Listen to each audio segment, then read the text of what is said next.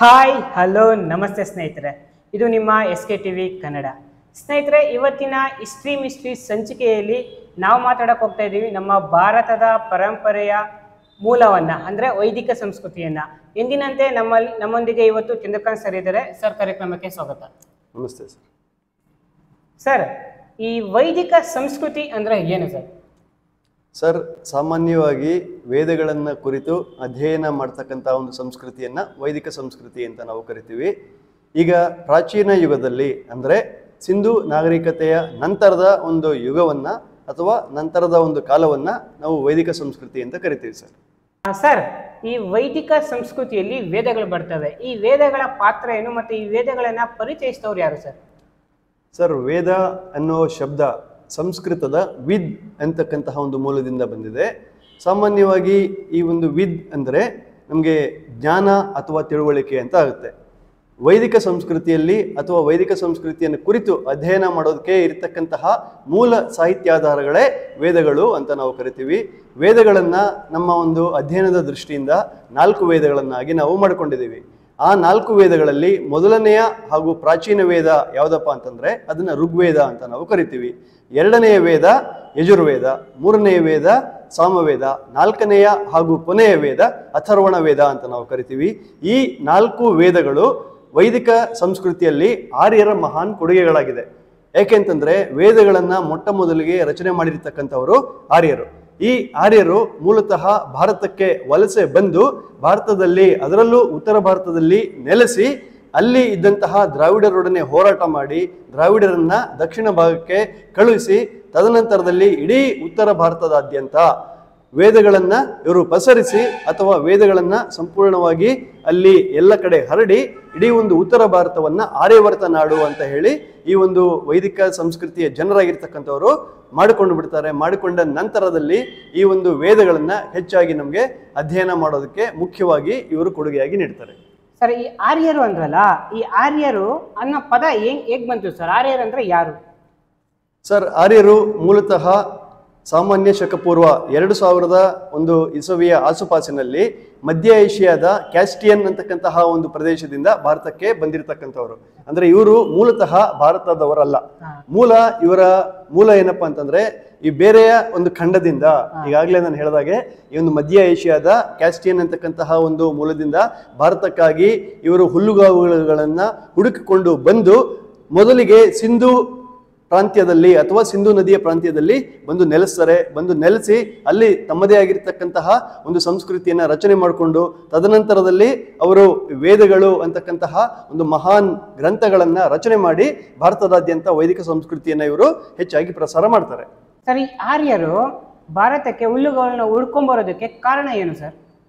ಭಾರತಕ್ಕೆ ಹುಲ್ಲುಗಳನ್ನು ಹುಡ್ಕೊಂಡು ಬರೋದಕ್ಕೆ ಕಾರಣ ಎಂತಪ್ಪ ಅಂತಂದ್ರೆ ನೋಡಿ, ಪ್ರಾಚೀನ ಭಾರತದಲ್ಲಿ ಅಥವಾ ಪ್ರಾಚೀನ ಕಾಲದಲ್ಲಿ ಈ ಒಂದು ಬರಗಾಲ ಇರ್ಬೋದು ಅಥವಾ ಒಂದು ನೆರೆ ಇರ್ಬೋದು ಅಥವಾ ಹಾವಳಿಗಳಿರ್ಬೋದು ಪ್ರಕೃತಿಗೆ ಸಂಬಂಧಪಟ್ಟ ಹಾಗೆ ಪರಿಸರದ ಅಸಮತೋಲನದಿಂದ ಅಥವಾ ಇವರಿಗೆ ಬೇಕಾಗಿರ್ತಕ್ಕಂತಹ ಒಂದು ವ್ಯವಸ್ಥೆ ಸಿಗದೇ ಇರತಕ್ಕಂಥ ಸಂದರ್ಭದಲ್ಲಿ ಇವರು ಭಾರತಕ್ಕೆ ವಲಸೆ ಬಂದು ಇಲ್ಲಿ ಇರ್ತಕ್ಕಂಥವರನ್ನ ಇವರು ಇಲ್ಲಿ ಇರ್ತಕ್ಕಂಥವ್ರ ಜೊತೆ ಹೋರಾಟ ಮಾಡಬೇಕಾಯಿತು. ಹೋರಾಟ ಮಾಡಿ ತದನಂತರದಲ್ಲಿ ಈ ವಿಶಾಲವಾಗಿರ್ತಕ್ಕಂತಹ ಉತ್ತರ ಭಾರತದಲ್ಲಿ ನೆಲೆಸಿ ಅಲ್ಲಿ ವೈದಿಕ ಸಂಸ್ಕೃತಿಯನ್ನು ಇವರು ಶುರು ಮಾಡ್ಕೊಳ್ತಾರೆ ಆ, ಸರ್ ಈ ಆರ್ಯರ ಸಂಸ್ಕೃತಿಯ ಬಗ್ಗೆ ತಿಳ್ಕೊಳ್ಳೋದಕ್ಕೆ ನಮಗೆ ಆಧಾರಗಳೇನಿದೆ ಸರ್? ಸರ್ ಇತಿಹಾಸದಲ್ಲಿ ಆಧಾರಗಳು ಪುರಾತತ್ವ ಆಧಾರಗಳು ಮತ್ತು ಸಾಹಿತ್ಯಕ ಆಧಾರಗಳು ಅಂತ ಎರಡು ರೀತಿಯ ಆಧಾರಗಳು ನಮಗೆ ಕಂಡು ಬರ್ತವೆ. ಅದೇ ರೀತಿಯಲ್ಲಿ ವೈದಿಕ ಸಂಸ್ಕೃತಿಯ ಬಗ್ಗೆ ಅಥವಾ ಆರ್ಯರ ಬಗ್ಗೆ ತಿಳಿದುಕೊಳ್ಳೋದಕ್ಕೆ ನಮಗೆ ಯಾವುದೇ ರೀತಿಯ ಪುರಾತತ್ವ ಆಗಿರ್ತಕ್ಕ ಆಧಾರ ಆಗಿರ್ತಕ್ಕಂಥದ್ದು ನಮಗೆ ಕಂಡು ಬರೋದಿಲ್ಲ. ಆದರೆ ಇವರು ನಮ್ಮ ಸಾಹಿತ್ಯ ಲೋಕಕ್ಕೆ ನೀಡಿರ್ತಕ್ಕಂತಹ ಒಂದು ಸಾಹಿತ್ಯಕ ಆಧಾರಗಳು ಇವರ ಒಂದು ಸಂಸ್ಕೃತಿಯನ್ನು ಕುರಿತು ನಮಗೆ ಅಧ್ಯಯನ ಮಾಡೋದಕ್ಕೆ ಇರತಕ್ಕಂತಹ ಪ್ರಮುಖವಾಗಿರತಕ್ಕಂತಹ ಆಧಾರಗಳಾಗಿದೆ. ಈ ಆಧಾರಗಳಲ್ಲಿ ವೇದಗಳು ಇವರು ಕೊಟ್ಟಿರ್ತಕ್ಕಂತಹ ಶ್ರೀಮಂತವಾಗಿರ್ತಕ್ಕಂತಹ ಕೊಡುಗೆಗಳಾಗಿದೆ ಸರ್ ಈ ವೈದಿಕ ಸಂಸ್ಕೃತಿ ಅಥವಾ ಋಗ್ವೇದ ಕಾಲದ ಸಾಮಾಜಿಕ, ರಾಜಕೀಯ ಮತ್ತು ಆರ್ಥಿಕ ಪರಿಸ್ಥಿತಿ ಹೇಗಿತ್ತು ಸರ್, ಋಗ್ವೇದಗಳ ಕಾಲದಲ್ಲಿನ ಒಂದು ಲಕ್ಷಣಗಳನ್ನು ನಾವು ಸಾಮಾಜಿಕ ಸ್ಥಿತಿ, ಆರ್ಥಿಕ ಸ್ಥಿತಿ ಅಥವಾ ಧಾರ್ಮಿಕ ಸ್ಥಿತಿ ಅಂತ ಹೇಳಿ ಮುಖ್ಯವಾಗಿ ನಾವು ಅಧ್ಯಯನ ಮಾಡ್ತೀವಿ. ಇವರ ರಾಜಕೀಯ ಸ್ಥಿತಿಯನ್ನು ನಾವು ನೋಡೋದಾದ್ರೆ, ಇವರ ಕಾಲದಲ್ಲಿನ ಒಂದು ಬುಡಕಟ್ಟುಗಳನ್ನು ರಾಜ್ಯ ಅಂತ ಹೇಳಿ ಇವರು ಕರಿತಾ ಇದ್ರು. ಋಗ್ವೇದಗಳ ಕಾಲದಲ್ಲಿ ಬುಡಕಟ್ಟಿನ ಮುಖ್ಯಸ್ಥನನ್ನ ರಾಜನ್ ಅಂತ ಹೇಳಿ ಕರಿತಾ ಇದ್ರು. ಇವರ ಒಂದು ಕಾಲದಲ್ಲಿ ರಾಜನ ಪ್ರಾಥಮಿಕ ಕರ್ತವ್ಯ ಏನಪ್ಪ ಆಗಿತ್ತು ಅಂತಂದ್ರೆ ಪ್ರಜೆಗಳನ್ನ ಪಾಲನೆ ಮಾಡ್ತಕ್ಕಂಥದ್ದು. ಅದಕ್ಕಾಗಿ ಇವನು ಏನ್ ಮಾಡ್ತಾ ಇದ್ದ ಅಂತಂದ್ರೆ ಕೆಲವು ಬಾರಿ ಪ್ರಜೆಗಳಿಂದ ಕಪ್ಪ ಕಾಣಿಕೆಗಳನ್ನ ವಸೂಲು ಮಾಡ್ತಾ ಇದ್ದ. ಹಾಗೂ ಕೆಲವು ಪ್ರಜೆಗಳಾಗಿರ್ತಕ್ಕಂಥವರು ತಾವಾಗೇ ರಾಜನಿಗೆ ಕಪ್ಪ ಕಾಣಿಕೆಗಳನ್ನ ಕೊಡ್ತಾ ಇದ್ರು. ಮತ್ತು ಇವರ ಕಾಲದಲ್ಲಿನ ಒಂದು ಪ್ರಮ ಅತ್ಯಂತ ಚಿಕ್ಕ ಘಟಕ ಯಾವುದಪ್ಪ ಅಂತಂದ್ರೆ ಗ್ರಾಮ. ಆ ಗ್ರಾಮವನ್ನ ನೋಡ್ಕೊಳ್ಳೋದಕ್ಕೆ ಇರ್ತಕ್ಕಂತಹ ಅಧಿಕಾರಿಯನ್ನ ಗ್ರಾಮೀಣಿ ಅಂತ ಹೇಳಿ ಋಗ್ವೇದಗಳ ಕಾಲದಲ್ಲಿ ಕರಿತಾ ಇದ್ರು. ಗ್ರಾಮದ ಮುಖ್ಯಸ್ಥನನ್ನ, ಮುಖ್ಯಸ್ಥನಾಗಿ ಗ್ರಾಮೀಣಿ ಆಗಿರ್ತಕ್ಕಂಥವನು ಕೆಲಸ ಮಾಡ್ತಾ ಇದ್ದ. ಇವನು ಗ್ರಾಮದ ಎಲ್ಲ ವಿಧವಾಗಿರ್ತಕ್ಕಂತಹ ಒಂದು ಉಸ್ತುವಾರಿಯನ್ನು ಸಹ ನೋಡ್ಕೊಳ್ತಾ ಇದ್ದನು. ಜೊತೆಗೆ ರಾಜನಿಗೆ ಆಡಳಿತದಲ್ಲಿ ಸಲಹೆ ಮತ್ತು ಸೂಚನೆಗಳನ್ನ ನೀಡೋದಕ್ಕೆ ಒಂದು ಸಮಿತಿ ಇತ್ತು. ಆ ಸಮಿತಿಗಳು ಯಾವ್ಯಾವುದಪ್ಪ ಅಂತಂದ್ರೆ ಸಭಾ ಮತ್ತು ಸಮಿತಿ ಅಂತಕ್ಕಂತಹ ಎರಡು ಸಲಹೆ ನೀಡತಕ್ಕಂತಹ ಒಂದು ಸಮಿತಿಗಳನ್ನ ನಾವು ವೇದಗಳ ಕಾಲದಲ್ಲಿ ರಾಜಕೀಯವಾಗಿ ನೋಡಬಹುದು ಇನ್ನು ಸಾಮಾಜಿಕ ಪರಿಸ್ಥಿತಿ ಹೇಗಿತ್ತು ಸರ್ ಅವರದ್ದು? ರಾಜ ಋಗ್ವೇದಗಳ ಕಾಲದಲ್ಲಿನ ಒಂದು ಸಮಾಜ ಪ್ರಮುಖವಾಗಿ ಇದು ಅವಿಭಕ್ತ ಕುಟುಂಬದ ಸಮಾಜ ವ್ಯವಸ್ಥೆ ಆಗಿರತಕ್ಕಂಥದ್ದು ನಮಗೆ ಇವರ ಒಂದು ಕಾಲದಲ್ಲಿ ಕಂಡು ಬರ್ತಾ ಇತ್ತು. ಮತ್ತು ಕುಟುಂಬದ ಯಜಮಾನ ಆಗಿರ್ತಕ್ಕಂಥವನು ಇವರ ಒಂದು ಕಾಲದಲ್ಲೇ ಪ್ರಮುಖವಾಗಿರ್ತಕ್ಕಂತಹ ಎಲ್ಲ ರೀತಿಯ ಒಂದು ಹುದ್ದೆಯನ್ನು ಹೊಂದಿದ್ದನು. ಮತ್ತು ಇವರ ಒಂದು ಸಮಾಜದಲ್ಲಿ ಪುರುಷರಿಗೆ ಸರಿಸಮಾನವಾಗಿರ್ತಕ್ಕಂತಹ ಒಂದು ಪ್ರಾಧಾನ್ಯತೆಯನ್ನು ಮಹಿಳೆಯರಿಗೂ ಸಹ ಇವರು ಕೊಟ್ಟಿದ್ದರು. ಅಂದರೆ ಮಹಿಳೆಯರು ವಿಶೇಷ ರೀತಿಯಲ್ಲಿ ಕೆಲವು ಕ್ಷೇತ್ರಗಳಲ್ಲಿ ಹಲವಾರು ರೀತಿಯ ಒಂದು ಸಾಧನೆಯನ್ನು ಸಹ ವೇ ಋಗ್ವೇದದ ಕಾಲದಲ್ಲಿ ಮಾಡಿದರು ಮತ್ತು ಇವರ ಒಂದು ಕಾಲದ ಸಮಾಜವನ್ನ ಅಥವಾ ಇವರ ಒಂದು ಕಾಲದಲ್ಲಿ ನಾಲ್ಕು ರೀತಿಯ ವರ್ಣಗಳು ನಮಗೆ ಮುಖ್ಯವಾಗಿ ಕಂಡು ಬರ್ತವೆ ಅಂದ್ರೆ ಚತುರ್, ಚತುರ್ವರ್ಣಾಧಾರಿತ ಪದ್ಧತಿಯಾಗಿರ್ತಕ್ಕಂಥದ್ದು ನಮಗೆ ಋಗ್ವೇದಗಳ ಕಾಲದಲ್ಲಿ ಕಂಡು ಬರ್ತವೆ ಆ ನಾಲ್ಕು ವರ್ಣಗಳು ಯಾವ್ಯಾವುದಪ್ಪ ಅಂತಂದ್ರೆ ಬ್ರಾಹ್ಮಣ, ಕ್ಷತ್ರಿಯ, ವೈಶ್ಯ ಹಾಗೂ ಶೂದ್ರ. ಈ ರೀತಿಯ ನಾಲ್ಕು ವರ್ಣಗಳು ನಮಗೆ ಋಗ್ವೇದದ ಕಾಲದಲ್ಲಿ ಮುಖ್ಯವಾಗಿ ಕಂಡು ಬರ್ತವೆ ಸಮಾಜದಲ್ಲಿ ಶಾಂತಿ ಹಾಗೂ ಸುವ್ಯವಸ್ಥೆಯಾಗಿರ್ತಕ್ಕಂಥದ್ದು ನಮಗೆ ಮುಖ್ಯವಾಗಿ ಋಗ್ವೇದಗಳ ಕಾಲದಲ್ಲಿ ಕಂಡು ಬರ್ತದೆ ಮತ್ತು ಇವರ ಕಾಲದಲ್ಲಿನ ಒಂದು ಕುಟುಂಬದ ಮುಖ್ಯಸ್ಥನನ್ನ ಕುಲಪತಿ ಅಥವಾ ಗೃಹಪತಿ ಅಂತ ಹೇಳಿ ಇವರ ಕಾಲದಲ್ಲಿ ಕರಿತಾ ಇದ್ರು ಸರ್. ಸರ್, ಹಾಗಾದ್ರೆ ಈ ವೇದಗಳ ಕಾಲದ ಆರ್ಥಿಕ ಪರಿಸ್ಥಿತಿ ಹೇಗಿತ್ತು ಸರ್? ವೇ ಋಗ್ವೇದಗಳ ಕಾಲದಲ್ಲಿನ ಆರ್ಥಿಕ ಪರಿಸ್ಥಿತಿಯನ್ನು ನಾವು ನೋಡೋದಾದರೆ, ಇವರ ಕಾಲದಲ್ಲಿ ಕೃಷಿ ಪ್ರಮುಖವಾಗಿರ್ತಕ್ಕಂತಹ ಒಂದು ಉದ್ಯೋಗ ಆಗಿತ್ತು. ಮತ್ತು ಕೃಷಿ ಆಧಾರಿತ ಒಂದು ಸಮಾಜ ಆಗಿರ್ತಕ್ಕಂಥದ್ದು ಇವರ ಕಾಲದಲ್ಲಿ ನಮಗೆ ಕಂಡು ಬರ್ತದೆ. ಕುಂಬಾರಿಕೆ ಇರ್ಬೋದು, ನೇಕಾರಿಕೆ ಇರ್ಬೋದು, ಮಡಿಕೆ ಕೆಲಸ ಮಾಡುವುದಿರ್ಬೋದು, ಅಥವಾ ಇತರೆ ಸಣ್ಣ ಪುಟ್ಟ ಒಂದು ಕೆಲಸಗಳನ್ನು ಮಾಡ್ಕೊಳ್ತಕ್ಕ, ಮಾಡ್ತಕ್ಕಂತಹ ಒಂದು ಸಮಾಜ ಇವರ ಒಂದು ಕಾಲದಲ್ಲಿ ನಮಗೆ ಮುಖ್ಯವಾಗಿ ಕಂಡು ಬರುತ್ತದೆ ಮತ್ತು ಇವರ ಒಂದು ಕಾಲದಲ್ಲಿ ವಿಶೇಷವಾಗಿ ವಸ್ತು ವಿನಿಮಯ ಪದ್ಧತಿಯ ಮುಖಾಂತರ ಇವರು ವ್ಯಾಪಾರವನ್ನ ಮಾಡ್ತಾ ಇದ್ರು. ಮತ್ತು ಎಲ್ಲ ರೀತಿಯಲ್ಲೂ ಸಹ ಆರ್ಥಿಕವಾಗಿ ಹಾಗೂ ಇವರು ಆರ್ಥಿಕತೆಯನ್ನ ಮುಖ್ಯವಾಗಿ ಹೊಂದಿದ್ದು ಇವರ ಒಂದು ಕಾಲದಲ್ಲಿ ಸುಖ ಜೀವನವನ್ನು ಇವರು ನಡೆಸ್ತಾ ಇದ್ರು. ವೇದಗಳ ಕಾಲದಲ್ಲಿ ಉಳುಮೆ ಮಾಡುವ ಭೂಮಿಯನ್ನ ಕ್ಷೇತ್ರ ಅಂತ ಹೇಳಿ ಇವರ ಕಾಲದಲ್ಲಿ ಕರಿತಾರೆ. ಸರ್, ಈ ವೈದಿಕ ಸಂಸ್ಕೃತಿ ಅಥವಾ ವೇದಗಳ ಸಂಸ್ಕೃತಿಯ ಧಾರ್ಮಿಕ ಸ್ಥಿತಿಗತಿ ಹೇಗಿತ್ತು, ಸರ್? ಇವರ ಕಾಲದಲ್ಲಿನ ಧರ್ಮವನ್ನು ನಾವು ನೋಡೋದಾದರೆ ಇವರ ವೈದಿಕ ಧರ್ಮವನ್ನು ಸನಾತನ ಧರ್ಮ ಅಥವಾ ಬ್ರಾಹ್ಮಣ ಧರ್ಮ ಅಂತಲೂ ಸಹ ಕರಿತಾ ಇದ್ರು ಇವರು ಬಹುದೇವತಾರಾಧಕರಾಗಿದ್ದರು. ಇವರ ಒಂದು ಕಾಲದಲ್ಲಿ ಪ್ರಕೃತಿಯನ್ನ ಹೇರಳವಾಗಿ ಇವರು ಪೂಜೆ ಮಾಡ್ತಾ ಇದ್ರು. ಅದರಲ್ಲೂ ಸಹ ಪ್ರಕೃತಿಯಲ್ಲಿ ಇರ್ತಕ್ಕಂತಹ ಸೂರ್ಯ, ವಾಯು, ವರುಣ, ಇಂದ್ರ, ಪೃಥ್ವಿ ಮುಂತಾದಂತಹ ಒಂದು ದೇವರುಗಳನ್ನ ಈ ಒಂದು ಋಗ್ವೇದಗಳ ಕಾಲದಲ್ಲಿ ಹೆಚ್ಚಾಗಿ ಇವರು ಆರಾಧನೆ ಮಾಡ್ತಾ ಇದ್ರು. ಮುಖ್ಯವಾಗಿ ನಾವು ಗಮನಿಸಬೇಕಾಗಿರ್ತಕ್ಕಂಥ ಸಂಗತಿ ಏನಪ್ಪಾ ಅಂತಂದ್ರೆ, ಇವರ ಒಂದು ಕಾಲದಲ್ಲಿ ಮೂರ್ತಿ ಪೂಜೆ ಆಗಿರ್ತಕ್ಕಂಥದ್ದು ಕಂಡು ಬರ್ತಾ ಇರಲಿಲ್ಲ. ಅಂದ್ರೆ ಋಗ್ವೇದಗಳ ಕಾಲದಲ್ಲಿ ಮೂರ್ತಿ ಪೂಜೆ ಇರಲಿಲ್ಲ. ಇವರು ಪಶು ಪಕ್ಷಿಗಳನ್ನ ಪ್ರಕೃತಿಯಲ್ಲಿ ಇರತಕ್ಕಂತಹ ಒಂದು ಪ್ರಾಣಿಗಳನ್ನ ವಿವಿಧ ರೀತಿಯ ಒಂದು ಪಶು ಪಕ್ಷಿಗಳನ್ನ ಹೆಚ್ಚಾಗಿ ಇವರ ಕಾಲದಲ್ಲಿ ಆರಾಧನೆ ಮಾಡ್ತಾ ಇದ್ರು. ಮತ್ತು ಇವರ ದೇವರುಗಳಿಗಾಗಿ ಶ್ಲೋಕಗಳನ್ನ ರಚನೆ ಮಾಡಿ ಇವರು ಏನ್ ಮಾಡ್ತಾ ಇದ್ರಪ್ಪ ಅಂದ್ರೆ ಈಗಿನ ಕಾಲದಲ್ಲಿ ಮಂತ್ರಗಳನ್ನ ಯಾವ ರೀತಿ ಜಪಿಸ್ತಾರೋ ಅರ್ಚಕರು ಅದೇ ರೀತಿಯಲ್ಲಿ ಶ್ಲೋಕಗಳನ್ನ ರಚನೆ ಮಾಡಿ ಇವರ ದೇವರುಗಳನ್ನ ಆರಾಧನೆ ಮಾಡ್ತಾ ಇದ್ರು. ಮತ್ತು ಇವರ ಒಂದು ಕಾಲದಲ್ಲಿಯೂ ಸಹ ವಿವಿಧ ರೀತಿಯ ಒಂದು ಪ್ರಕೃತಿಯಲ್ಲಿ ಇರ್ತಕ್ಕಂಥ ದೇವರುಗಳನ್ನು ಇವರು ಹೆಚ್ಚಾಗಿ ಆರಾಧನೆ ಮಾಡ್ತಾ ಇದ್ರು. ನಂತರದ ಒಂದು ವೇದಗಳ ಕಾಲದಲ್ಲಿ ನಮಗೆ ಮುಖ್ಯವಾಗಿ ಮೂರ್ತಿ ಪೂಜೆ ಆಗಿರ್ತಕ್ಕಂಥದ್ದು ಕಂಡು ಬರುತ್ತೆ ಸರ್ ಈ ವೇದಗಳ ಕಾಲದ ಶಿಕ್ಷಣ ಪದ್ಧತಿ ಹೇಗಿತ್ತು ಸರ್? ವೇದಗಳ ಕಾಲದಲ್ಲಿ ಗುರುಕುಲಗಳು ಅಗ್ರಹಾರಗಳು ಹಾಗೂ ಘಟಿಕಾಲಯಗಳಲ್ಲಿ ಹೆಚ್ಚಾಗಿ ಶಿಕ್ಷಣವನ್ನು ನೀಡ್ತಾ ಇದ್ರು. ಮತ್ತು ಉಪನಯನದೊಂದಿಗೆ ಮಕ್ಕಳಿಗೆ ವಿದ್ಯಾಭ್ಯಾಸ ಆಗಿರ್ತಕ್ಕಂಥದ್ದು ವೇದಗಳ ಕಾಲದಲ್ಲಿ ಇವರು ಆರಂಭವಾಗ್ತಾ ಇತ್ತು. ಮತ್ತು ಈ ವೇದಗಳ ಕಾಲದಲ್ಲಿ ಗುರುವಿಗೆ ಅತ್ಯಂತ ಹೆಚ್ಚಿನ ಒಂದು ಪ್ರಮುಖ ಸ್ಥಾನಮಾನ ಆಗಿರ್ತಕ್ಕಂಥದನ್ನ ನೀಡಿದ್ದರು. ಈಗಲೂ ಸಹ ನಮ್ಮ ಪ್ರಾಚೀನ ಭಾರತದಲ್ಲಿ ಇರತಕ್ಕಂತಹ ಎರಡು ವಿಶ್ವವಿದ್ಯಾಲಯಗಳು ಅಂತಂದ್ರೆ ಕಂಚಿ ಹಾಗೂ ನಳಂದ ಅಂತ ನಾವು ಕರಿತೀವಿ. ಇದರೊಂದಿಗೆ ಇನ್ನೂ ಅನೇಕ ವಿಶ್ವವಿದ್ಯಾಲಯಗಳಿವೆ. ಆದರೆ ವೇದಗಳ ಕಾಲದಲ್ಲಿ ಇದ್ದಂತಹ ಎರಡು ಪ್ರಾಚೀನ ವಿದ್ಯಾಕೇಂದ್ರಗಳಿವು ಈ ಎರಡು ವಿದ್ಯಾಕೇಂದ್ರಗಳಲ್ಲಿ ಪ್ರಾಚೀನ ಕಾಲದಲ್ಲಿ ಹೆಚ್ಚಾಗಿ ಒಂದು ಶಿಕ್ಷಣ ಇರ್ತಕ್ಕಂಥದ್ದು ನಡೀತಾ ಇತ್ತು. ವಿದೇಶಗಳಿಂದಲೂ ಸಹ ಈ ಒಂದು ಶಿಕ್ಷಣ ಕೇಂದ್ರಗಳಿಗೆ ಇಂದಿಗೂ ಸಹ ವಿದ್ಯಾಭ್ಯಾಸವನ್ನು ಮಾಡೋದಕ್ಕೆ ಜನರ ಇರ್ತಕ್ಕ, ಅಥವಾ ವಿದ್ಯಾರ್ಥಿಗಳಾಗಿರ್ತಕ್ಕಂಥವರು ಇಲ್ಲಿಗೆ ಬರ್ತಾ ಇದ್ದಾರೆ. ಮತ್ತು ಇವರ ಒಂದು ಕಾಲದಲ್ಲಿ ಸ್ತ್ರೀ ಹಾಗೂ ಪುರುಷರು ಇಬ್ಬರೂ ಸಹ ಸಮಾನವಾಗಿರ್ತಕ್ಕಂತಹ ಒಂದು ಶಿಕ್ಷಣವನ್ನ ಇವರು ಪಡಿತಾ ಇದ್ರು.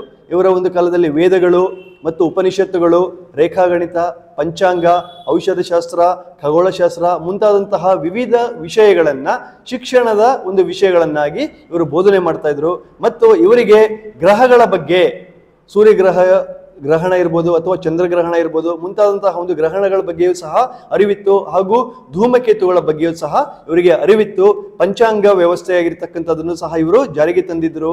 ಹಾಗೂ ಇವರ ಒಂದು ಚಂದ್ರಮಾನ ಪಂಚಾಂಗ ವ್ಯವಸ್ಥೆ ಆಗಿರ್ತಕ್ಕಂಥದನ್ನ ಋಗ್ವೇದಗಳ ಕಾಲದಲ್ಲಿ ಜಾರಿಗೆ ತಂದಿದ್ರು ಮತ್ತು ವಿವಿಧ ರೀತಿಯ ಒಂದು ಸಂಶೋಧಕರಾಗಿರ್ತಕ್ಕಂಥವರು ಸಹ ನಮಗೆ ಇವರ ಕಾಲದಲ್ಲಿ ಕಂಡು ಬರ್ತಾ ಇದ್ರು ಒಟ್ಟಾರೆಯಾಗಿ ಒಂದು ಎಲ್ಲ ರೀತಿಯಲ್ಲೂ ಶ್ರೀಮಂತವಾಗಿರ್ತಕ್ಕಂತಹ ಒಂದು ಕೊಡುಗೆ ಹಾಗೂ ಶಿಕ್ಷಣ ವಿಜ್ಞಾನದಲ್ಲಿ ಅತ್ಯುನ್ನತವಾಗಿರತಕ್ಕಂಥ ಪ್ರಗತಿಯನ್ನ ವೇದಗಳ ಕಾಲದಲ್ಲಿನ ಜನರು ಮಾಡಿದ್ದರು ಸರ್. ಸರ್ ಹೇಳಿದ್ರು ಈಗ ಮಹಿಳೆಯರಿಗೂ ಮತ್ತು ಪುರುಷರಿಗೂ ಸಮಾನ ಶಿಕ್ಷಣ ವ್ಯವಸ್ಥೆ ಇತ್ತು ಅಂತ. ಹಾಗಾದ್ರೆ ಯಾರಾದರೂ ಮಹಿಳಾ ವಿದ್ವಾಂಸರು ಈ ವೇದಗಳ ಕಾಲದಲ್ಲಿ ಕಂಡು ಬಂದಿದ್ದಾರೆ ಸರ್? ವೇದಗಳ ಕಾಲದಲ್ಲಿ ಅನೇಕ ಮಹಿಳಾ ವಿದ್ವಾಂಸರು ನಮಗೆ ವಿವಿಧ ರೀತಿಯ ಸಂಶೋಧನೆಗಳನ್ನ ಅಥವಾ ಸಾಧನೆಗಳನ್ನು ಮಾಡಿರತಕ್ಕಂಥವರು ಕಂಡು ಬರ್ತಾರೆ ಅದರಲ್ಲೂ ಸಹ ವಿಶೇಷವಾಗಿ ಶಾಶ್ವತಿ ಲೋಪಮುದ್ರ ಗಾರ್ಗಿ ಮೈತ್ರೇಯಿ ಮುಂತಾದಂತಹ ಒಂದು ಮಹಿಳೆಯರು ವಿದ್ಯ- ವಿದ್ಯಾಭ್ಯಾಸದಲ್ಲಿ ಹತ್ ಸಾಧನೆಯನ್ನು ಸಹ ಇವರ ಕಾಲದಲ್ಲಿ ಮಾಡಿದರು. ಸರ್ ನಂತರದ ವೇದಗಳ ಕಾಲದ ಜನರ ಪರಿಸ್ಥಿತಿ ಹೇಗಿತ್ತು ಸರ್? ನಂತರದ ವೇದಗಳ ಕಾಲದಲ್ಲಿನ ರಾಜಕೀಯ ಪರಿಸ್ಥಿತಿಯನ್ನು ನಾವು ನೋಡೋದಾದ್ರೆ ರಾಜಕೀಯ ಬುಡಕಟ್ಟುಗಳನ್ನು ಇವರು ಗೋಪಗಳನ್ನಾಗಿ ವಿಂಗಡಣೆ ಮಾಡಿಕೊಂಡಿದ್ದರು ಹಾಗೂ ರಾಜನ ಒಂದು ಮುಖ್ಯವಾಗಿರತಕ್ಕಂತಹ ಒಂದು ಕರ್ತವ್ಯ ಏನಪ್ಪಾ ಅಂತಂದ್ರೆ ರಾಜತ್ವವಾಗಿರ್ತಕ್ಕಂಥದ್ದು ವಂಶ ಪಾರಂಪರ್ಯವಾಗುತ್ತೆ. ಇಲ್ಲಿ ರಾಜ ಏನ್ ಮಾಡ್ತಾನಪ್ಪ ಅಂತಂದ್ರೆ ಅವರ ಪ್ರದೇಶಗಳನ್ನ ಗೋಪಗಳನ್ನಾಗಿ ವಿವಿಧ ರೀತಿಯ ಒಂದು ಪಂಗಡಗಳನ್ನಾಗಿ ಉಪವಿಂಗಡಣೆ ಮಾಡ್ಕೊಳ್ತಾನೆ. ಮತ್ತು ಅವನ ಒಂದು ಮುಖ್ಯ ಉದ್ದೇಶ ನಂತರದ ವೇದಗಳ ಕಾಲದಲ್ಲಿ ರಾಜತ್ವವಾಗಿರ್ತಕ್ಕಂಥದ್ದು ವಂಶ ಪಾರಂಪರ್ಯವಾಗಿ ಮಾಡಿ ಹಾಗೂ ಈ ಒಂದು ತನ್ನ ರಾಜತ್ವವನ್ನು ಉಳಿಸಿಕೊಳ್ಳೋದಕ್ಕೆ ರಾಜ ಆಗಿರ್ತಕ್ಕಂಥವನು ಮೋಸನ ಮಾರ್ಗವನ್ನ ಅನುಸರಿಸಿಕೊಳ್ಳೋದಕ್ಕೆ ಮುಂದಾಗ್ತಾನೆ. ಮತ್ತು ನಂತರದ ವೇದಗಳ ಕಾಲದಲ್ಲಿ ರಾಜನ ಒಂದು ಸೈನ್ಯದಲ್ಲಿ ಮಹತ್ತರ ಬದಲಾವಣೆಗಳಾಗುತ್ತೆ. ಸರಳ ಯುದ್ಧೋಪಕರಣಗಳ ಬದಲಿಗೆ ಬಿಲ್ಲು, ಬಾಣಗಳು, ಭರ್ಜಿ ಗದೆಗಳು ಮುಂತಾದಂತಹ ಒಂದು ಯುದ್ಧಗಳ ಒಂದು ಸಲಕರಣೆಗಳು ಅಥವಾ ರಾಜನಿಗೆ ಬೇಕಾಗಿರ್ತಕ್ಕಂತಹ ಒಂದು ಶಸ್ತ್ರಾಸ್ತ್ರಗಳಾಗಿರ್ತಕ್ಕಂಥದ್ದು ಇಲ್ಲಿ ನಮಗೆ ಬೆಳಕಿಗೆ ಬರುತ್ತೆ. ಮತ್ತು ಈ ಒಂದು ನಂತರದ ವೇದಗಳ ಕಾಲದಲ್ಲಿ ರಾಜ ಆಗಿರ್ತಕ್ಕಂಥವನು ಅವನ ಒಂದು ಯುದ್ಧದಲ್ಲಿ ಜಯವನ್ನು ಗಳಿಸೋದಕ್ಕೆ ಅನೇಕ ರೀತಿಯ ಯಾಗಗಳನ್ನು ಮಾಡ್ತಾನೆ. ಉದಾಹರಣೆಗೆ ಅಶ್ವಮೇಧ ಯಾಗ ಇರ್ಬೋದು, ರಾಜಾಸೂಯ ಯಾಗ ಇರ್ಬೋದು ಅಥವಾ ಪುತ್ರ ಕಮಿಷ್ಠ ಯಾಗ ಇರ್ಬೋದು. ಈ ರೀತಿ ವಿವಿಧ ರೀತಿಯ ಒಂದು ಯಾಗಗಳನ್ನ ಮಾಡಿ ನಂತರದ ಒಂದು ಕಾಲದಲ್ಲಿ ರಾಜತ್ವವನ್ನ ವಿವಿಧ ಭಾಗಗಳನ್ನಾಗಿ ವಿಂಗಡಣೆ ಮಾಡಿ ಪ್ರಜಾಪ್ರಭುತ್ವದಲ್ಲಿ ವಿಶೇಷವಾಗಿ ತಮ್ಮ ಒಂದು ಪ್ರಮುಖ ಗಮನವನ್ನ ಇಲ್ಲಿ ನಂತರದ ವೇದಗಳ ಕಾಲದಲ್ಲಿ ರಾಜಕೀಯವಾಗಿ ರಾಜ ಆಗಿರ್ತಕ್ಕಂಥವನು ನೀಡ್ತಾನೆ. ಇಲ್ಲಿ ಅನೇಕ ಯುದ್ಧಗಳನ್ನ ಮಾಡ್ತಾ ಇದ್ರು ಅಂತ ಹೇಳಿದ್ರಿ ರಾಜ ಪದ್ಧತಿ ಅಸ್ತಿತ್ವದಲ್ಲಿತ್ತು. ಹಾಗಾದ್ರೆ ಇಲ್ಲಿನ ಸೈನ್ಯ ಪದ್ಧತಿ ಹೇಗಿತ್ತು ಸರ್? ಅವ್ರ ಯುದ್ಧ ತಂತ್ರ ಹೇಗಿತ್ತು? ಸರ್, ಯುದ್ಧವನ್ನ ಮಾಡಿ ರಾಜ ಆಗಿರತಕ್ಕಂಥವನು ಒಂದು ತನ್ನ ಪದವಿಯನ್ನ ಅಥವಾ ತನ್ನ ಒಂದು ಹುದ್ದೆಯನ್ನು ಉಳಿಸ್ಕೊಳ್ಬೇಕಾದ್ರೆ ಮುಖ್ಯವಾಗಿ ಅವನಿಗೆ ಸೈನ್ಯ ಅಥವಾ ಸೈನಿಕರ ಒಂದು ಬೆಂಬಲ ಬೇಕಾಗುತ್ತೆ. ಅದಕ್ಕಾಗಿ ರಾಜ ಏನ್ ಮಾಡಿದ್ದಪ್ಪ ಅಂತಂದ್ರೆ ತನ್ನ ಸೈನ್ಯವನ್ನ ವಿವಿಧ ವಿಭಾಗಗಳನ್ನಾಗಿ ವಿಂಗಡಣೆ ಮಾಡಿದ್ದ. ಉದಾಹರಣೆಗೆ ಕಾಲ್ದಳ ಇರ್ಬೋದು, ಗಜದಳ ಇರ್ಬೋದು, ಅಶ್ವದಳ ಇರ್ಬೋದು, ಈ ರೀತಿ ಸೈನ್ಯವನ್ನ ತುಂಬಾನೇ ಪ್ರಮುಖವಾಗಿರ್ತಕ್ಕಂತಹ ಪ್ರಮುಖವಾಗಿ ವಿಂಗಡಣೆ ಮಾಡಿ ತನ್ನ ಒಂದು ಕಾಲದಲ್ಲಿ ತನ್ನ ವೈರಿಯ ವಿರುದ್ಧ ಯಾವುದಾದರೂ ರೀತಿಯಲ್ಲಿ, ಹೇಗಾದರೂ ಆಗಿ ಆಗಲಿ, ಆ ಒಂದು ರಾಜ್ಯವನ್ನ ಗೆಲ್ಲುವುದು ರಾಜನ ಮುಖ್ಯವಾಗಿರ್ತಕ್ಕಂತಹ ಒಂದು ಕರ್ತವ್ಯವಾಗಿತ್ತು. ಇದಕ್ಕಾಗಿ ಅವನು ಎಲ್ಲ ರೀತಿಯ ಒಂದು ಮೋಸದ ಮಾರ್ಗವನ್ನಿರ್ಬೋದು ಅಥವಾ ಪ್ರಾಮಾಣಿಕವಾಗಿ ಇರ್ಬೋದು, ಎಲ್ಲ ರೀತಿಯಲ್ಲೂ ಸಹ ಅವನು ತನ್ನ ವೈರಿಯನ್ನ ಗೆದ್ದೇ ಗೆಲ್ಲಬೇಕು ಅಂತಕ್ಕಂತಹ ಒಂದು ಹಠ ಅಥವಾ ನಿಷ್ಠೆ ಆಗಿರ್ತಕ್ಕಂಥದ್ದು ನಮಗೆ ನಂತರದ ವೇದಗಳ ಕಾಲದಲ್ಲಿ ಕಂಡು ಬರುತ್ತೆ ಅದಕ್ಕಾಗಿ ರಾಜ ಏನ್ ಮಾಡ್ತಾ ಇದ್ನಪ್ಪ ಅಂತಂದ್ರೆ, ಅವನು ತನ್ನ ಒಂದು ವೈರಿಯನ್ನ ವಿವಿಧ ರೀತಿಯಲ್ಲಿ ಅವ ತನ್ನ ಸೈನ್ಯವನ್ನು ಬಳಸಿಕೊಂಡು ಅವ ವೈರಿಯನ್ನ ಗೆಲ್ತಕ್ಕಂತ ಒಂದು ಉದಾ ಹಲವಾರು ಉದಾಹರಣೆಗಳನ್ನು ನಾವು ಕಾಣ್ತೀವಿ. ಆ, ಸರ್ ನಂತರದ ವೇದಗಳ ಕಾಲದ ಸಾಮಾಜಿಕ ಪರಿಸ್ಥಿತಿ ಹೇಗಿತ್ತು ಸರ್? ನಂತರದ ವೇದಗಳ ಕಾಲದಲ್ಲಿ ಮಹತ್ತರ ಬದಲಾವಣೆಗಳು ಆಗುತ್ತೆ ಸರ್. ನೋಡಿ ವಿಶೇಷವಾಗಿ ನಂತರದ ವೇದಗಳ ಕಾಲದಲ್ಲಿ ಬಹುಪತ್ನಿತ್ವ ಹಾಗೂ ಬಹುಪತಿತ್ವ ಅಂತಕ್ಕಂತಹ ಒಂದು ಅಂಶಗಳು ನಮಗೆ ಕಂಡು ಬರುತ್ತೆ. ಹಾಗೂ ನಾವು ಮತ್ತೆ ನೋಡೋದಾದ್ರೆ ಮಹಿಳೆಯರ ಸ್ಥಾನಮಾನ ಇಲ್ಲಿ ಕ್ಷೀಣಿಸುತ್ತೆ. ಅಂದ್ರೆ ಈಗ ರಾಜ ಪರಂಪರೆಯಲ್ಲಿ ಇರ್ತಕ್ಕಂತಹ ಅಥವಾ ಮೇಲ್ವರ್ಗದಲ್ಲಿ ಇರ್ತಕ್ಕಂತಹ ಮಹಿಳೆಯರು ಮಾತ್ರ ಶಿಕ್ಷಣ ಪಡೆಯೋದಕ್ಕೆ ಅರ್ಹರಾಗ್ತಾರೆ. ಮತ್ತು ಕೆಳವರ್ಗದ ಮಹಿಳೆಯರಿಗೆ ಈ ಒಂದು ಅವಧಿಯಲ್ಲಿ ಅಂದ್ರೆ ನಂತರದ ಒಂದು ವೇದಗಳ ಅವಧಿಯಲ್ಲಿ ಶಿಕ್ಷಣ ಇರ್ತಕ್ಕಂಥದ್ದು ಸಾಮಾನ್ಯವಾಗಿ ಸಿಗೋದಿಲ್ಲ. ಹಾಗೂ ಈ ನಂತರದ ಕಾಲದಲ್ಲಿ ಸಮಾಜದ ಸಮಾಜವನ್ನ ನಾಲ್ಕು ವರ್ಗಗಳಾಗಿ ವಿಂಗಡಣೆ ಮಾಡ್ತಾರೆ. ಅದರಲ್ಲಿ ನಾಲ್ಕು ವರ್ಣಗಳು ಯಾವ್ಯಾವುದಪ್ಪ ಅಂತಂತಂದ್ರೆ ಮುಖ್ಯವಾಗಿ ಆಶ್ರಮಗಳು ಅಂತ ನಾವು ಕರಿತೀವಿ. ಅದರಲ್ಲಿ ಮೊದಲನೆಯದು ಬ್ರಹ್ಮಚಾರ್ಯಾಶ್ರಮ ಗೃಹಸ್ಥಾಶ್ರಮ ವಾನಪ್ರಸ್ಥಾಶ್ರಮ ಹಾಗೂ ಸನ್ಯಾಶ್ರಮ ಅಂತಕ್ಕಂತಹ ಒಂದು ನಾಲ್ಕು ಆಶ್ರಮಗಳನ್ನ ಇವರ ಒಂದು ಕಾಲದಲ್ಲಿ ಮುಖ್ಯವಾಗಿ ವಿಂಗಡಣೆ ಮಾಡ್ಕೊಂಡಿರ್ತಾರೆ. ಸರ್ ಈ ನಾಲ್ಕು ಆಶ್ರಮಗಳ ಬಗ್ಗೆ ನೀವು ತಿಳಿಸ್ಕೊಟ್ರಲ್ಲ ಏನು ಸರ್ ಈ ನಾಲ್ಕು ಆಶ್ರಮಗಳು ಏನಾಗಂದ್ರೆ ಆಶ್ರಮಗಳು ಮಾನವನ ಜೀವನದಲ್ಲಿ ಪ್ರಮುಖವಾದ ಒಂದು ಪಾತ್ರವನ್ನ ವಹಿಸ್ತಾ ಇದ್ವು. ಅದರಲ್ಲೂ ಸಹ ನಂತರದ ವೇದಗಳ ಕಾಲದಲ್ಲಿ ನಾಲ್ಕು ಆಶ್ರಮಗಳು ನಮಗೆ ಮುಖ್ಯವಾಗಿ ಕಂಡುಬರುತ್ತವೆ. ಇಲ್ಲಿ ಬ್ರಹ್ಮಚರ್ಯಾಶ್ರಮ ಅಂತಂದ್ರೆ ಮಾನವನ ಒಂದು ಶಿಕ್ಷಣದ ಅವಧಿ ಅಂತ ನಾವು ಕರಿತೀವಿ. ಈ ಅವಧಿಯಲ್ಲಿ ಮಾನವಾಗಿರ್ತಕ್ಕಂಥವನು ತನ್ನ ಒಂದು ಅದರಲ್ಲೂ ವಿಶೇಷವಾಗಿ ಬಾಲ್ಯಾವಸ್ಥೆಯಲ್ಲಿ ಪ್ರಮುಖವಾಗಿ ಶಿಕ್ಷಣಕ್ಕೆ ಆದ್ಯತೆಯನ್ನು ನೀಡಬೇಕು. ವಿಶೇಷವಾಗಿ ಶಿಕ್ಷಣವನ್ನ ಸಂಪೂರ್ಣವಾಗಿ ಕಲಿತು ತಾನು ಒಂದು ಜೀವಿತಾವಧಿಯಲ್ಲಿ ಒಬ್ಬ ಒಳ್ಳೆಯ ವಿದ್ಯಾವಂತನಾಗ್ತಕ್ಕಂತಹ ಒಂದು ಹಂತ. ಎರಡನೇದು ಯಾವುದಪ್ಪ ಅಂತಂದ್ರೆ ಗೃಹಸ್ಥಾಶ್ರಮ ಅಂತ ನಾವು ಕರಿತೀವಿ.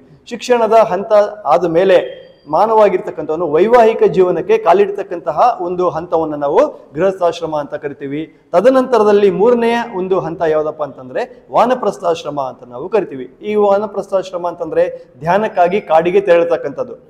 ನಾಲ್ಕನೇ ಒಂದು ಆಶ್ರಮ ಯಾವುದಪ್ಪ ಅಂತಂದ್ರೆ ಸನ್ಯಾಸಾಶ್ರಮ. ಸನ್ಯಾಶ್ರಮ ಅಂತಂದ್ರೆ ಈ ಒಂದು ಜೀವನದಲ್ಲಿ ವೈರಾಗ್ಯವನ್ನ ಹೊಂದಿ ತದನಂತರ ಈ ಎಲ್ಲ ಒಂದು ಅಂಶದಲ್ಲೂ ಸಹ ವೈರಾಗ್ಯವನ್ನ ಒಂದು ಪಡಿತಕ್ಕಂತಹ ಮಾನವನ ಜೀವಿತಾವಧಿಯ ಕಟ್ಟ ಕಡೆಯ ಒಂದು ಆಶ್ರಮ ಅಂತಲೂ ಸಹ ನಾವು ಕಡಿದೀವಿ ಸರ್ ಈ ಕಾಲದ ಆಹಾರ ಪದ್ಧತಿ ಮತ್ತು ಉಡುಗೆ ತೊಡುಗೆಗಳ ಬಗ್ಗೆ ಸ್ವಲ್ಪ ಮಾಹಿತಿ ನೀಡಿ.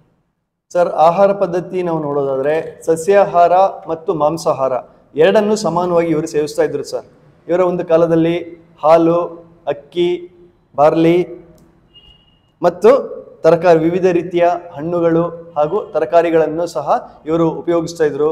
ಜೊತೆಗೆ ಇವರ ಒಂದು ಕಾಲದಲ್ಲಿ ಸ್ತ್ರೀ ಪುರುಷರಿಬ್ಬರು ಸಹ ಸರಿಸಮಾನವಾಗಿರ್ತಕ್ಕಂತಹ ಒಂದು ಒಡವೆಗಳನ್ನು ಇವರು ಧರಿಸ್ತಾ ಇದ್ರು. ಉದಾಹರಣೆಗೆ ಮಹಿಳೆಯರು ಕಿವಿಯೋಲೆ ಇರ್ಬೋದು, ಕಂಠಹಾರ ಇರ್ಬೋದು, ತೋಳಬಂದಿ ಇರ್ಬೋದು, ಇಂತಹ ಒಂದು ಆಭರಣಗಳನ್ನು ಧರಿಸ್ತಾ ಇದ್ರು. ಸ್ತ್ರೀ ಪುರುಷರಿಬ್ಬರು ಸಹ ಸಮಾನವಾಗಿರ್ತಕ್ಕಂತಹ ಒಂದು ರೀತಿಯ ವಸ್ತ್ರಗಳನ್ನು ಇವರ ಒಂದು ಕಾಲದಲ್ಲಿ ಧರಿಸ್ತಾ ಇದ್ರು. ಮತ್ತು ಇವರ ಒಂದು ಕಾಲದಲ್ಲಿ ಜೂಜಾಡುವುದು, ರಥ ಓಡಿಸುವುದು, ಕುದುರೆಯ ಒಂದು ಓಟದ ಸ್ಪರ್ಧೆ ಇವೆಲ್ಲವೂ ಸಾಮಾನ್ಯವಾಗಿರ್ತಕ್ಕಂತಹ ಒಂದು ಸ್ಪರ್ಧೆ ಆಗಿತ್ತು ಸರ್. ಸರ್, ಈ ಕಾಲದ ಒಂದು ಆರ್ಥಿಕ ಸ್ಥಿತಿ ಹೇಗಿತ್ತು ಸರ್? ಈ ಕಾಲದ ಆರ್ಥಿಕ ಸ್ಥಿತಿ ಅಂತಂದ್ರೆ, ಈಗ ನಂತರದ ವೇದಗಳ ಕಾಲದಲ್ಲಿ ಸರ್, ನಂತರದ ವೇದಗಳ ಕಾಲದಲ್ಲಿ ಹಳ್ಳಿಗಳು ನಗರಗಳಾಗಿ ಪರಿವರ್ತನೆಗೊಳ್ಳುತ್ತೆ.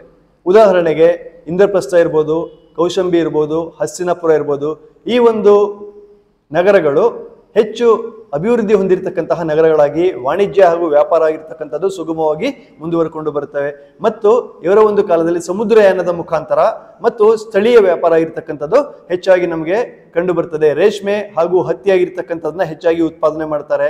ಮತ್ತು ಇವರ ಕಾಲದಲ್ಲಿ ವಸ್ತು ವಿನಿಮಯ ಪದ್ಧತಿಯ ಜೊತೆ ಜೊತೆಗೆ ನಿಷ್ಕ ಎಂಬ ಒಂದು ಹೊಚ್ಚ ಹೊಸ ರೀತಿಯ ನಾಣ್ಯವನ್ನು ಸಹ ಇವರು ಬಿಡುಗಡೆಗೊಳಿಸ್ತಾರೆ. ಈ ಒಂದು ನಾಣ್ಯವನ್ನ ತಮ್ಮ ಒಂದು ವ್ಯಾಪಾರದಲ್ಲಿ ಹೆಚ್ಚಾಗಿ ಬಳಸ್ತಾ ಇದ್ರು ಅನ್ನುವ ಒಂದು ಮಾಹಿತಿ ನಮಗೆ ಇವರ ಒಂದು ಸಾಹಿತ್ಯಿಕ ಆಧಾರಗಳಲ್ಲಿ ವಿಶೇಷವಾಗಿ ಕಂಡುಬರುತ್ತೆ. ಸರ್ ಈ ನಾಣ್ಯ ಯಾವ ಲೋಹದ್ದು ಸರ್? ಇದು ನಿಷ್ಕ ಅಂತಕ್ಕಂಥದ್ದು ಚಿನ್ನದ ಒಂದು ಲೋಹದಿಂದ ಮಾಡಿರ್ತಕ್ಕಂತಹ ಒಂದು ನಾಣ್ಯವಾಗಿತ್ತು ಸರ್. ಸರ್ ಈ ನಂತರದ ವೇದಗಳ ಕಾಲದ ಧಾರ್ಮಿಕ ಸ್ಥಿತಿ ಹೇಗಿತ್ತು ಸರ್? ನಂತರದ ವೇದಗಳ ಕಾಲದಲ್ಲಿ ಧರ್ಮ ಆಗಿರ್ತಕ್ಕಂಥದ್ದು ಹೆಚ್ಚಾಗಿ ಕ್ಷೀಣಿಸುತ್ತೆ ಸರ್. ನೋಡಿ ವೇದಗಳ ಕಾಲ ಅಂದ್ರೆ ಋಗ್ವೇದಗಳ ಕಾಲದಲ್ಲಿ ಇವರು ಪ್ರಕೃತಿಯನ್ನು ಹೆಚ್ಚಾಗಿ ಪೂಜೆ ಮಾಡ್ತಾ ಇದ್ರು. ಇವರ ಕಾಲದಲ್ಲಿ ಋಗ್ವೇದಗಳ ಕಾಲದಲ್ಲಿ ಮೂರ್ತಿ ಪೂಜೆ ಆಗಿರ್ತಕ್ಕಂಥದ್ದು ನಮಗೆ ಕಂಡು ಬರೋದಿಲ್ಲ. ಆದರೆ ನಂತರದ ವೇದಗಳ ಕಾಲದಲ್ಲಿ ಈ ಒಂದು ದೇವರುಗಳಿಗೆ ಆಕಾರಗಳನ್ನು ಕೊಟ್ಟು ಇವರು ಪೂಜೆ ಮಾಡ್ತಕ್ಕಂಥ ಪದ್ಧತಿಯನ್ನು ಜಾರಿಗೆ ತರ್ತಾರೆ. ಅಂದ್ರೆ ವೈದಿಕ ಯುಗದ ಜನರು. ಅದರಲ್ಲೂ ಸಹ ವಿಶೇಷವಾಗಿ ಇವರು ಶಿವ ಇರ್ಬೋದು ಅಥವಾ ಕಾರ್ತಿಕೇಯ ಇರ್ಬೋದು, ಗಣೇಶ, ಸುಬ್ರಹ್ಮಣ್ಯ, ಹಾಗೂ ಈ ರೀತಿ ವಿವಿಧ ಬ್ರಹ್ಮ, ವಿಷ್ಣು ಮುಂತಾದಂತಹ ಒಂದು ದೇವರುಗಳಿಗೆ ಆಕಾರಗಳನ್ನು ಕೊಟ್ಟು ಪೂಜೆ ಮಾಡ್ತಾರೆ. ಅದರಲ್ಲೂ ಸಹ ನಾವು ನೋಡೋದಾದರೆ ಲಕ್ಷ್ಮಿ ಹಾಗೂ ಕಾಳಿ, ದುರ್ಗೆ ಈ ರೀತಿಯ ಒಂದು ಮಹಿಳಾ ದೇವರುಗಳನ್ನು ಸಹ ಕುರಿತು ಇವರ ಒಂದು ಕಾಲದಲ್ಲಿ ಪೂಜೆ ಮಾಡ್ತಾರೆ. ಮತ್ತು ಇವರ ಒಂದು ಧರ್ಮದಲ್ಲಿ ವಿಶೇಷವಾಗಿ ನಾವು ನೋಡೋದಾದ್ರೆ ಹಲ- ಗೋಹತ್ಯೆಯನ್ನು ಇವರು ನಿಷೇಧ ಮಾಡ್ತಾರೆ. ಮತ್ತು ಇವರ ಒಂದು ಕಾಲದಲ್ಲಿ ಯಜ್ಞ ಯಾಗಾದಿಗಳು ಆಗಿರತಕ್ಕಂಥದ್ದು ಹೆಚ್ಚಾಗಿ ದುಬಾರಿ ಆಗುತ್ತೆ. ದುಬಾರಿ ಆದ ಮೇಲೆ ನಂತರದ ಕಾಲದಲ್ಲಿ ಮಾಟ ಮಂತ್ರ ಆಗಿರ್ತಕ್ಕಂಥದ್ದು ಹೆಚ್ಚಾಗಿ ನಮಗೆ ಇವರ ಒಂದು ಕಾಲದಲ್ಲಿ ಕಂಡು ಬಂದು, ದ- ಧರ್ಮ ಆಗಿರ್ತಕ್ಕಂಥದ್ದು ಸ್ವಲ್ಪ ಹೆಚ್ಚಿನ ಮಟ್ಟಿಗೆ ಕ್ಷೀಣತೆಯನ್ನು ಕಂಡು ಬರ, ಕಂಡುಕೊಳ್ಳುತ್ತದೆ. ವರ್ಣಗಳು, ಆಶ್ರಮಗಳು, ಪುರುಷಾರ್ಥಗಳು, ವೈದಿಕ ಸಂಸ್ಕೃತಿಯ ಅವಿಭಾಗ್ಯ ಅಂಗಗಳಾಗಿವೆ. ಪುರುಷಾರ್ಥಗಳು ಅಂದರೆ ಇವು ಮಾನವನ ಜೀವನದಲ್ಲಿನ ಪ್ರಮುಖವಾಗಿರ್ತಕ್ಕಂತಹ ಒಂದು ಅಂಶಗಳು. ಈ ನಾಲ್ಕು ಪುರುಷಾರ್ಥಗಳು ನಮಗೆ ವೈದಿಕ ಯುಗದಲ್ಲಿ ಕಂಡು ಬರ್ತವೆ ನಾಲ್ಕು ಪುರುಷಾರ್ಥಗಳು ಯಾವುದಪ್ಪ ಅಂತಂದ್ರೆ ಧರ್ಮ, ಅರ್ಥ, ಕಾಮ ಹಾಗೂ ಮೋಕ್ಷ ಅಂತಕ್ಕಂಥದ್ದು.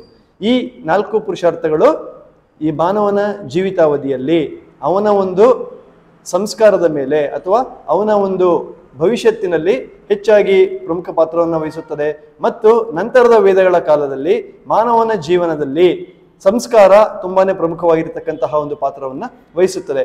ಅದಾದ ಮೇಲೆ ಮಾನವನ ಒಂದು ಜೀವಿತಾವಧಿಯಲ್ಲಿ ಮಾನವನ ಆತ್ಮ ದೇವರನ್ನು ಸೇರಿತಕ್ಕಂಥದ್ದು ಇವರ ಕಾಲದಲ್ಲಿ ಮುಖ್ಯವಾಗಿ ಕಂಡುಬರುತ್ತದೆ ಅದಕ್ಕಾಗಿ ಇಲ್ಲಿ ಇವರು ಅಂದ್ರೆ ವೇದಗಳ ಕಾಲದಲ್ಲಿನ ಜನರು ಮೋಕ್ಷ ಸಾಧನೆಗಾಗಿ ಭಕ್ತಿ ಮಾರ್ಗವನ್ನ, ಕರ್ಮ ಮಾರ್ಗವನ್ನ ಮುಂತಾದಂತಹ ಒಂದು ವಿವಿಧ ರೀತಿಯ ಮಾರ್ಗವನ್ನ ಇವರ ಒಂದು ಕಾಲದಲ್ಲಿ ಅನುಸರಿಸ್ತಾರೆ.